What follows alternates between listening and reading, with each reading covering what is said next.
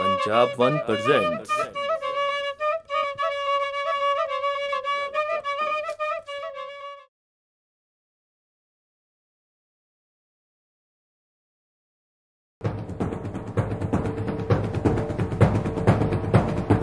Punjaban TV ਦੇਖ ਰਹੇ ਸਾਰੇ ਹੀ ਦਰਸ਼ਕਾਂ ਦਾ ਸਵਾਗਤ ਹੈ ਮੈਂ ਬਲਰਾਜ ਸਿੰਘ ਹਾਜ਼ਰਾਂ ਲੈ ਕੇ ਪ੍ਰੋਗਰਾਮ ਗੁਰੂ ਦੀਆਂ ਗੱਲਾਂ ਗੁਰੂ ਸਾਰਿਓ ਅੱਜ ਆਪਾਂ ਦੇਖਦੇ ਹਾਂ ਕਿ ਸਾਡੇ ਲੋਕ ਕਿਵੇਂ ਕਰਮਕਾਂਡਾਂ ਵਿੱਚ ਫਸੇ ਪਏ ਨੇ ਕਿਵੇਂ ਅਗਿਆਨਤਾ ਵਿੱਚ ਕਿਵੇਂ ਦੇਹਧਾਰੀ ਤੇ ਪਖੰਡੀ ਬਾਬਿਆਂ ਦੇ ਪਿੱਛੇ ਕਿਵੇਂ ਤਾਂਤਰੰਗ ਦੇ ਪਿੱਛੇ ਲੱਗ ਕੇ ਆਪਣੇ ਜੀਵਨ ਨੂੰ ਜਿੱਥੇ ਬਰਬਾਦ ਕਰ ਰਹੇ ਨੇ ਉੱਥੇ ਆਪਣੀ ਆਰਥਿਕਤਾ ਨੂੰ ਹੀ ਨੁਕਸਾਨ ਪਹੁੰਚਾ ਰਹੇ ਨੇ।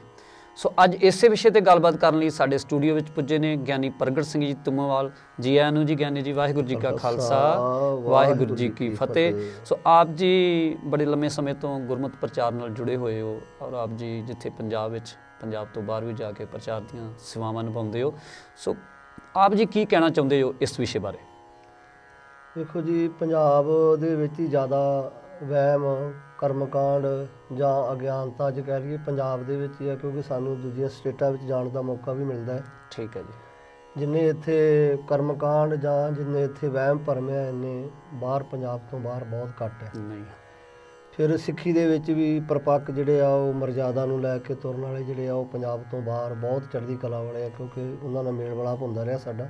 ਠੀਕ ਹੈ ਜੀ।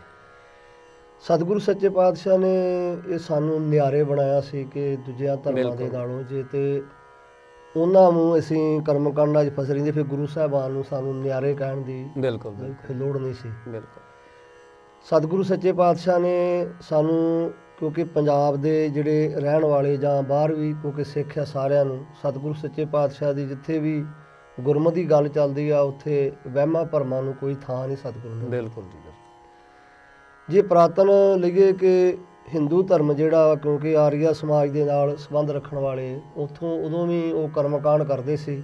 ਹਾਂਜੀ। ਸਤਿਗੁਰੂ ਨੇ ਉਹਨਾਂ ਦਾ ਖੰਡਨ ਕੀਤਾ ਜਿਵੇਂ ਹਰਦੁਆਰ ਦੇ ਵਿੱਚ ਸਤਿਗੁਰੂ ਗਏ ਉਹਨਾਂ ਪਾਣੀ ਦੀ ਗੱਲ ਕੀਤੀ ਕਿ ਸੂਰਜ ਨੂੰ ਝਟ ਰਿਹਾ ਉਹਨਾਂ ਕਿਹਾ ਕਿ ਇਹ ਬਿਲਕੁਲ ਗਲਤ ਹੈ। ਗਲਤ ਗੱਲ ਹੈ। ਕਿਉਂਕਿ ਪਾਣੀ ਜਿਹੜਾ ਹੈ ਨਾ ਤੇ ਜਾ ਹੀ ਸਕਦਾ ਹੈ ਤੇ ਨਾ ਇਹਨੂੰ ਕੋਈ ਪਹੁੰਚਾ ਹੀ ਸਕਦਾ ਹੈ। ਬਿਲਕੁਲ। ਪਰ ਸਤਿਗੁਰੂ ਦਾ ਤਰੀਕਾ ਜਿਹੜਾ ਹੋਰ ਸੀ ਕਿ ਬੜੇ ਪਿਆਰ ਦੇ ਨਾਲ ਸਤਿਗੁਰੂ ਸੱਚੇ ਪਾਤਸ਼ਾਹ ਜੀ ਸਮਝਾਉਂਦੇ ਸੀ ਨਾ ਤੇ ਕੋਈ ਜੋਰਾ ਜਬਰੀ। ਬਿਲਕੁਲ। ਕਿ ਅਗਲੇ ਦੇ ਸਮਝ ਵਿੱਚ ਵੀ ਗੱਲ ਆ ਜਾਏ ਕਿ ਵਾਕਈ ਇਹ ਜੋ ਕਰ ਰਹੇ ਸੀ ਗਲਤ ਕਰ ਰਹੇ। ਪ੍ਰੈਕਟੀਕਲ ਕਰਕੇ ਸਮਝਾਉਂਦੇ ਸੀ ਗੁਰੂ ਸਾਹਿਬ। ਵੇਖੋ ਕਿੱਡਾ ਨਿਆਰਾ ਉਹਨਾਂ ਦਾ ਢੰਗ ਆ ਕਿੱਡਾ ਵਧੀਆ ਢੰਗ ਸੀ। ਅੱਜ ਵੀ ਜੇ ਦੇਖਿਆ ਜਾਏ ਸਮਝਾਉਣ ਦੇ ਤਰੀਕੇ ਸਾਡੇ ਕੋਲ ਅੱਜ ਵੀ ਆ ਪਰ ਬਹੁਤ ਘੱਟ ਹੈ ਕਿ ਅਗਲੇ ਨੂੰ ਵਿਸ਼ਵਾਸ ਵਿੱਚ ਲੈ ਕੇ ਜਿਵੇਂ ਸਤਿਗੁਰੂ ਮੱਕੇ ਦੀ ਧਰਤੀ ਤੇ ਗਏ ਉੱਥੇ ਉਹਨਾਂ ਨੂੰ ਜਾ ਕੇ ਉਹਨਾਂ ਨੇ ਕਿਹਾ ਕਿ ਅੱਲਾਹ ਤਾਲਾ ਇੱਕ ਜਗ੍ਹਾ ਤੇ ਨਹੀਂ ਅੱਲਾਹ ਤਾਲਾ ਹਰ ਥਾਂ ਤੇ। ਹਰ ਥਾਂ ਮੌਜੂਦ ਹੈ। ਹਾਂਜੀ।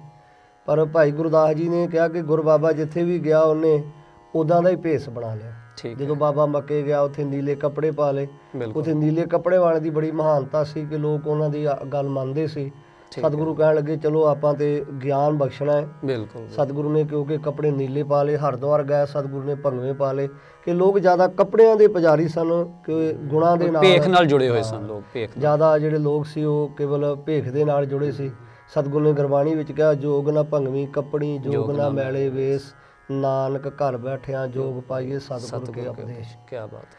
ਜੇ ਵਿਚਾਰਿਆ ਜਾਏ ਤੇ ਇਹ ਜਿਹੜੀ ਪ੍ਰਾਤਨੀ ਮਰਜ਼ਾਦਾ ਤੁਰੀ ਆਉਂਦੀ ਸੀ ਕਿ ਆਰੀਆ ਸਮਾਜ ਦੇ ਟਾਈਮ ਕਿ ਜ਼ਿਆਦਾਤਰ ਹਿੰਦੁਸਤਾਨ ਦੇ ਵਿੱਚ ਜਦੋਂ ਕੋਈ ਜੀਵ ਚੜ੍ਹਾਈ ਕਰ ਜਾਣਾ ਹਾਂਜੀ। ਤੇ ਉਦੋਂ ਕੇਵਲ ਉਹਨੂੰ ਬਿਲੇ ਲਾਉਣ ਵਾਸਤੇ ਕਿ ਇਹਦੇ ਸਰੀਰ ਦੇ ਵਿੱਚ ਜਿਹੜਾ ਕਿਉਂਕਿ ਬਦਬੂ ਆਏਗੀ ਬਿਮਾਰੀਆਂ ਫੈਲਣਗੀਆਂ। ਬਿਲਕੁਲ। ਤੇ ਟੋਏ ਪੁੱਟਣੇ ਜਿਹੜੇ ਸੀ ਉਹ ਪੁੱਟ ਕੇ ਨੱਪਣਾ ਬੜਾ ਔਖਾ ਸੀ ਉਦੋਂ ਉਹਨਾਂ ਨੇ ਲੱਕੜਾਂ ਇਕੱਠੀਆਂ ਕਰਨੀਆਂ ਤੇ ਉਹਦਾ ਸੰਸਕਾਰ ਸੰਸਕਾਰ। ਕਰਨਾ ਸ਼ੁਰੂ ਕੀਤਾ। ਫਿਰ ਇਹ ਪੱਕੀ ਮਰਜ਼ਾਦਾ ਬਣ ਗਈ ਕਿ ਹਿੰਦੂ ਧਰਮ ਦੇ ਵਿੱਚ ਕਿ ਇਹ ਸੰਸਕਾਰ ਕਰਨਾ ਚਾਹੀਦਾ। ਠੀਕ ਹੈ। ਹਾਂਜੀ ਭਗਤ ਕਬੀਰ ਸਾਹਿਬ ਜੀ ਨੇ ਵੀ ਕਿਉਂਕਿ ਆਪਣੀ ਪਾਵਨ ਬਾਣੀ ਵਿੱਚ ਹਵਾਲਾ ਦਿੱਤਾ ਹੈ ਕਿ ਬੁੱਤ ਪੂਜ ਪੂਜ ਹਿੰਦੂ ਮੋਏ ਤੁਰਕ ਮੋਏ ਸਰਨਾਈ ਓਏ ਲੈ ਜਾ ਰਹਿ ਓਏ ਲੈ ਗੱਡ। ਤੇਰੀ ਗਤ ਦੋਹੂ ਨਾ ਪਾਈ। ਕਿ ਇਸਲਾਮ ਧਰਮ ਦੇ ਵਿੱਚ ਮੁਰਦੇ ਨੂੰ ਦਫਨਾਇਆ ਜਾਂਦਾ। ਦਫਨਾਉਣ ਦਾ ਜਿਹੜਾ ਸੀ ਉਹ ਰਿਵਾਜ ਉਹਨਾਂ ਦਾ ਕਿ ਉੱਥੇ ਜਿਹੜਾ ਸੀ ਲੱਕੜਾਂ ਦੀ ਘਾਟ ਹੋਣ ਕਾਰਨ। ਉੱਥੇ ਜਦੋਂ ਜੀਵ ਕੋਈ ਚੜ੍ਹਾਈ ਕਰ ਜਾਣਾ ਉਹਨਾਂ ਟੋਆ ਪੁੱਟਣਾ ਤੇ ਟੋਏ ਵਿੱਚ ਪਾ ਕੇ ਉਹਨੂੰ ਨੱਪ ਦੇਣਾ। ਠੀਕ ਹੈ ਹਾਂਜੀ। ਉਹ ਉਹਨਾਂ ਦੀ ਪਰੰਪਰਾ ਹੀ ਬਣ ਗਈ ਕਿ ਮੁਰਦੇ ਨੂੰ ਦਫਨਾਉਣਾ ਚਾਹੀਦਾ ਹੈ। ਬਿਲਕੁਲ। ਹਿੰਦੂ ਧਰਮ ਦੇ ਵਿੱਚ ਇਹ ਅੱਗ ਨੂੰ ਜਲਾਉਣਾ ਚਾਹੀਦਾ ਹੈ। ਉਹਦੇ ਨਾਲ ਕਈ ਤਰ੍ਹਾਂ ਦੇ ਵਹਿਮ ਭਰਮ ਜਿਹੜੇ ਉਹ ਆਪਣੇ ਆਪ ਜੁੜ ਗਏ। ਜੁੜ ਗਏ। ਜਿਵੇਂ ਉਸ ਤੋਂ ਬਾਅਦ ਹਜ਼ਰਤ ਮੁਹੰਮਦ ਸਾਹਿਬ ਨੂੰ ਇਹ ਸਵਾਲ ਕੀਤਾ ਕਿ ਦੇਖੋ ਤੁਸੀਂ ਧਰਮ ਤੇ ਆਪਣਾ ਜਿਹੜਾ ਵੱਖਰਾ ਬਣਾ ਦਿੱਤਾ ਪਰ ਸਮਾਂ ਪਾ ਕੇ ਇਹ ਚੱਲਣਾ ਨਹੀਂ ਫੇਰ ਉਹਦੇ ਵਿੱਚ ਹੀ ਸਮਾ ਜਾਣਾ। ਠੀਕ ਹੈ ਜੀ। ਉਹ ਕਹਿਣ ਲੱਗੇ ਨਹੀਂ ਇਹ ਸਾਡਾ ਜਿਹੜਾ ਵਾ ਇਹ ਨਿਆਰਾ ਰਹੇਗਾ। ਬਿਲਕੁਲ। ਕਿਉਂਕਿ ਅਸੀਂ ਇਹਨਾਂ ਨਾਲੋਂ ਆਪਣਾ ਜਿਹੜਾ ਵਾ ਉਹ ਨਾਤਾ ਤੋੜ ਲਿਆ।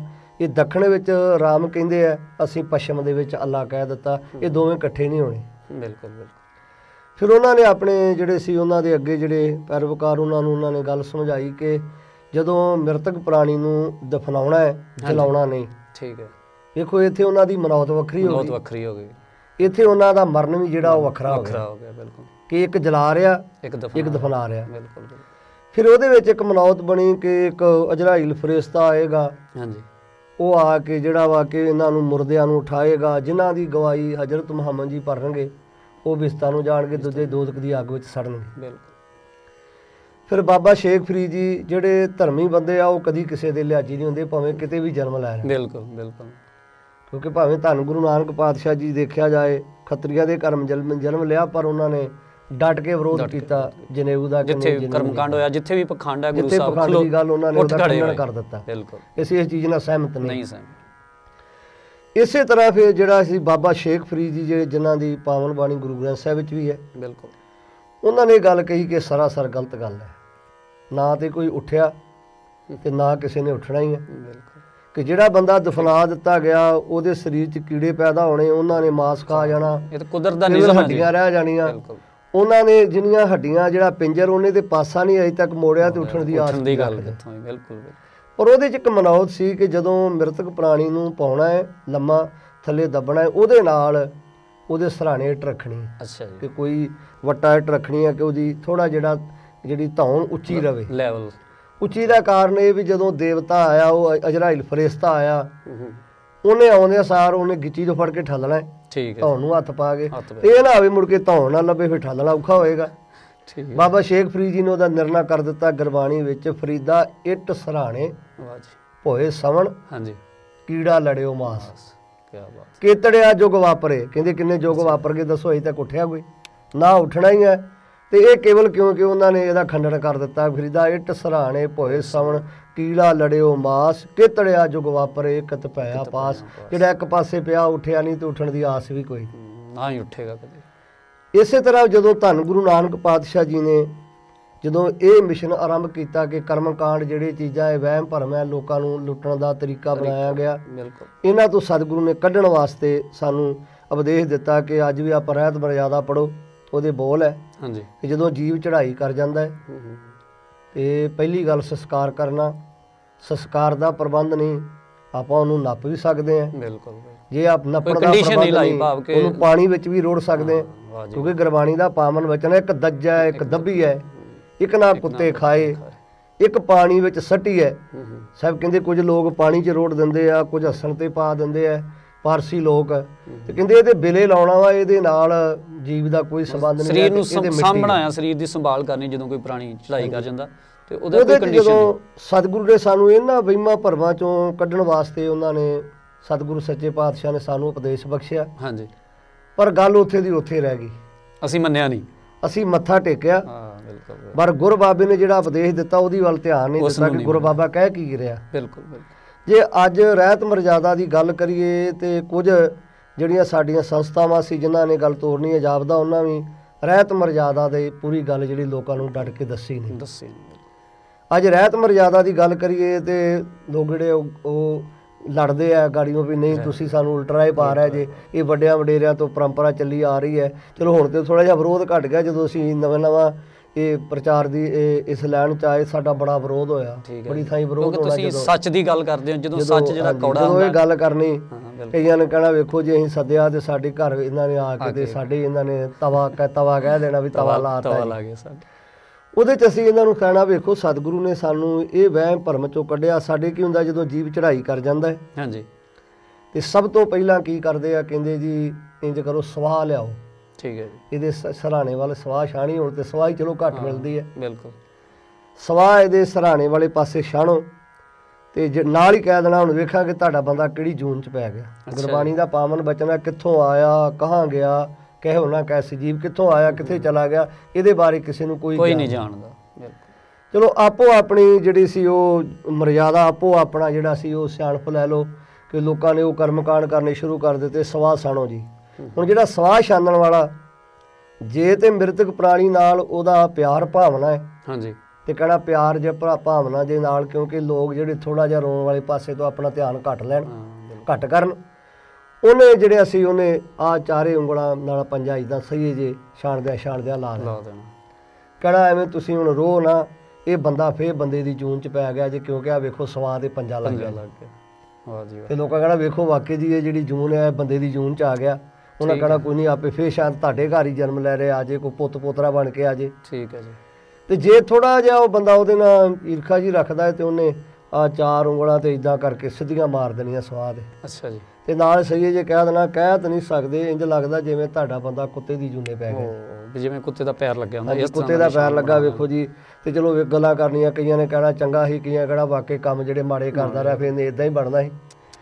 ਉਦੋਂ ਬਾਅਦ ਫਿਰ ਜਿਹੜੀ ਆ ਉਹ ਦਾਣੇ ਰੱਖਣੇ ਠੀਕ ਹੈ ਜੀ। ਹਾਂਜੀ ਇਹ ਸਾਰੀਆਂ ਮਨੌਤਾਂ ਜਿਹੜੀਆਂ ਉਦੋਂ ਬਾਅਦ ਵਿਰਾਇਤ ਮਰਜ਼ਾਦਾ ਨੂੰ ਲਈ ਉਹ ਚ ਲਿਖਿਆ ਕਿ ਕੇਵਲ ਜੀਵ ਜਦੋਂ ਚੜ੍ਹਾਈ ਕਰਦਾ ਤੇ ਚਲੋ ਕਈ ਵਾਰ ਕਈ ਬੰਦੇ ਜਦੋਂ ਚੜ੍ਹਾਈ ਕਰਦੇ ਆ ਮਿੱਟੀ ਘੱਟੇ ਨਾਲ ਲਿਬੜੇ ਹੁੰਦੇ ਆ ਇਸ਼ਨਾਨ ਕਰੋ ਇਸ਼ਨਾਨ ਕਰੋ ਜਦੋਂ ਸਾਡੀ ਸਿੱਖ ਰਹਿਤ ਮਰਜ਼ਾਦਾ ਉਹ ਚ ਅੰਤਮ ਸੰਸਕਾਰ ਦਾ ਪੂਰਾ ਜੋ ਬਿਊਰਾ ਲਿਖਿਆ ਹੋਇਆ ਹੈ। ਹਾਂਜੀ ਲਿਖਿਆ ਜੋ ਤੇ ਪਹਿਲੀ ਗੱਲ ਉਹਨੂੰ ਇਸ਼ਨਾਨ ਕਰਾਉਣਾ।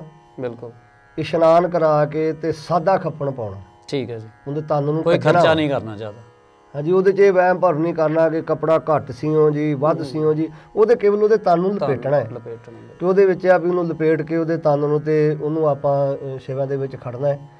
ਉਹਦੇ 'ਚ ਵੀ ਹੋ ਗਿਆ ਜੀ ਆਪਾਂ ਜ਼ਿਆਦਾਤਰ ਵੇਖਿਆ ਜਾਵੇ ਆ ਸਮਾਜ ਦੇ ਵਿੱਚ ਤੇ ਉਹ ਮਹਿੰਗੇ ਮਹਿੰਗੇ ਕੱਪੜੇ ਲਿਆ ਕੇ ਆਪਾਂ ਪਾਉਨੇ ਜਦ ਕਿ ਅਗਨ ਭੇਂਟ ਹੋ ਜਾਣੇ ਸੜ ਕੇ। ਰਾਖ ਬਣ ਜਾਣਾ। ਉਹਦੇ ਵਿੱਚ ਵੀ ਦੋਹਰਾਇਆ ਹੁੰਦੀਆਂ ਕਿ ਜਦੋਂ ਜੀਵ ਕੋਈ ਚੜ੍ਹਾਈ ਕਰ ਜਾਂਦਾ। ਹਾਂਜੀ। ਤੇ ਖੱਫਣ ਵੀ ਕਹਿੰਦੇ ਆ ਵੀ ਉਹ ਜਿਹੜਾ ਉਹ ਘਰੋਂ ਨਹੀਂ ਪਾਉਣਾ। ਠੀਕ ਹੈ। ਕਮਾਈ ਘਰ ਕਰਦਾ ਰਿਹਾ।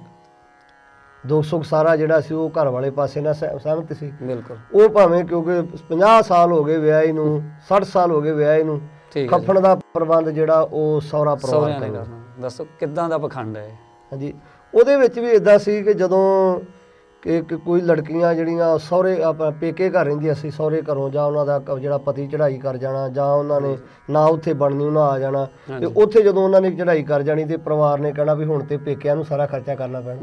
ਠੀਕ ਹੈ। ਤੇ ਸਹੁਰੇ ਤੇ ਹੈ ਨਹੀਂ। ਬਿਲਕੁਲ ਪਰ ਉਹ ਪਰੰਪਰਾ ਪੱਕੀ ਬਣ ਗਈ। ਅੱਜ ਮੈਂ ਥੋੜਾ ਜਿਹਾ ਤੁਹਾਡਾ ਹੋਰ ਧਿਆਨ ਦੇਣ ਵਾਸਤੇ ਗੱਲ ਪਕੜ ਚ ਆ ਜਾਏਗੀ ਹਾਂਜੀ। ਪਿੱਛੇ ਤੁਸੀਂ ਜਾਣਦੇ ਹੋਣੇ ਕਿ ਚੂਥੀ ਵਾਲੇ ਬੂਹੇ ਹੁੰਦੇ ਸੀ। ਠੀਕ ਹੈ ਜੀ।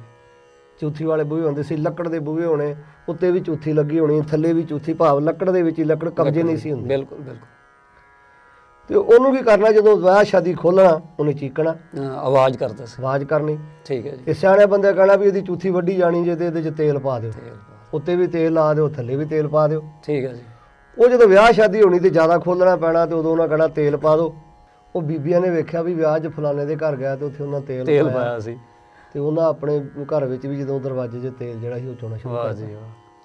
ਅੱਜ ਲੱਖਾਂ ਰੁਪਈਆ ਦਰਵਾਜ਼ੇ ਤੇ ਲਾ ਕੇ ਤੇ ਤੇਲ ਅੱਜ ਵੀ ਭਾਵੇਂ ਪਰੌਣਿਆਂ ਦੇ ਲੀੜੇ ਲਿਪੜ ਜਾਣ ਭਾਵੇਂ ਕੀੜੀਆਂ ਸਾਰੀ ਦਿਹਾੜੀ ਚੜਦੀਆਂ ਰਹਿਣ। ਤੇ ਉਹ ਇੱਕ ਪਖੰਡ ਬਣ ਗਿਆ ਹਾਂਜੀ ਮਤਲਬ ਪਖੰਡ ਬਣ ਗਿਆ ਉਹ ਵਹਿ ਬਣ ਗਿਆ। ਉਹਦੇ 'ਚ ਮੁੜ ਕੇ ਫਿਰ ਲਾਗੀਆਂ ਦਾ ਇਲਾਜ ਜੁੜ ਗਿਆ। ਤੇਲ ਨਾਲ ਹੀ। ਹੁਣ ਜੇ ਸਿੱਧੇ ਦੇ ਪਰੌਣੇ ਨੂੰ ਪੈਸੇ ਲੈ ਨਹੀਂ ਸਕਦੇ ਬਹਾਨਾ ਬਣ ਗਿਆ ਤੇਲ ਤੇਲ ਚੋ ਕੇ। ਤੇਲ ਚਵਾਈ ਦਾ ਉਹ ਜੀ। ਵਾਹ ਜੀ ਹੁਣ ਚਲੋ ਜੇ ਲਾਗੀ ਆ ਆਪਣੇ ਘਰ ਵਿੱਚ ਲਿਆਂਦੀ ਇਹ ਕੰਮ ਕਰ ਕੀਤਾ ਉਹਨਾਂ ਦੇ ਪੈਸੇ ਆਪਾਂ ਸਿੱਧੇ ਦਈਏ ਇਹਨਾਂ ਨੇ ਵਹਿਮਾਂ ਭਰਮਾਂ ਦੇ ਵਿੱਚ ਪੈ ਵਹਿਮ ਚ ਪਾ ਕੇ। ਹੁਣ ਤੇ ਇਥੋਂ ਤੱਕ ਵੀ ਗੁਰਦੁਆਰੇ ਸਾਹਿਬਾਂ 'ਚ ਵੀ ਤੇਲ ਚੋਣ ਲੱਗ ਪਏ। ਘਰ ਗੁਰੂ ਗ੍ਰੰਥ ਸਾਹਿਬ ਹੋਣਾ ਤਾਂ ਵੀ ਤੇਲ ਚੋਇਆ ਜਾ ਰਿਹਾ। ਉਹ ਸਾਰਾ ਜਿਹੜਾ ਵਹਿਮ ਆ ਅੱਜ ਜੇ ਵੇਖੀ ਤੇ ਬਹੁਤ ਜੰਗੀ ਪੱਧਰ ਦੇ ਉੱਤੇ ਫੈਲ ਗਿਆ। ਦੇਖੋ ਜਿਹੜੇ ਗੁਰੂ ਸਾਹਿਬ ਸਾਨੂੰ ਮੁਕਤ ਕਰ ਰਹੇ ਨੇ ਇਹਨਾਂ ਵਹਿਮਾਂ ਭਰਮਾਂ ਤੋਂ ਅਸੀਂ ਉਸ ਗੁਰੂ ਸਾਹਿਬ ਨਾਲ ਹੀ ਇਹਨਾਂ ਵਹਿਮਾਂ ਜੋੜ ਲਿਆ। ਸੋ ਗਿਆਨੀ ਜੀ ਆਪਾਂ ਤੁਹਾਡੇ ਨਾਲ ਦੁਬਾਰਾ ਫਿਰ ਇਹੀ ਗੱਲਬਾਤ ਨੂੰ ਜਾਰੀ ਰੱਖਾਂਗੇ। ਕਿਉਂਕਿ ਵੇਲਾ ਹੋ ਗਿਆ ਇੱਕ ਛੋਟੇ ਜਿਹੇ ਬ੍ਰੇਕ ਦਾ। ਸੋ ਆਪ ਜੀ ਦੇਖਦੇ ਰਹੋ ਪੰਜਾਬ ਵਨ ਟੀਵੀ ਜਲਦ ਹਾਜ਼ਰ ਹੁੰਨੇ ਆ ਬ੍ਰੇਕ ਤੋਂ ਬਾਅਦ।